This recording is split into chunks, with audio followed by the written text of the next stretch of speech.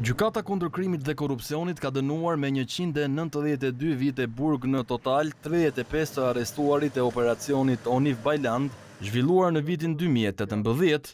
Ata u gjetën fajtorë për trafikimin e rreth një mijë personave drejt SHBA-së, Kanadasë dhe Britanisë së Madhe.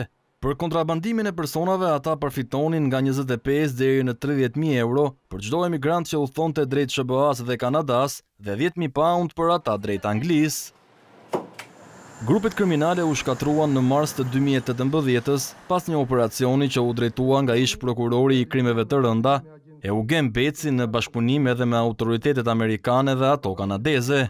Sipas hetimeve ka rezultuar se shtatë grupet kriminale operonin në Shqipëri, Bullgari, Spanjë, Francë, Republikën Dominikane, Itali, Britani, Irlandë, SHBA e Kanada.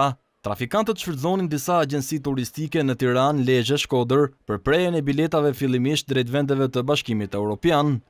Më pas qytetarët e interesuar për të emigruar në Amerikë, Kanada dhe Angli, pajiseshin me dokumente të falsifikuara së bashku me një biletë të re për të udhëtuar drejt këtyre vendeve.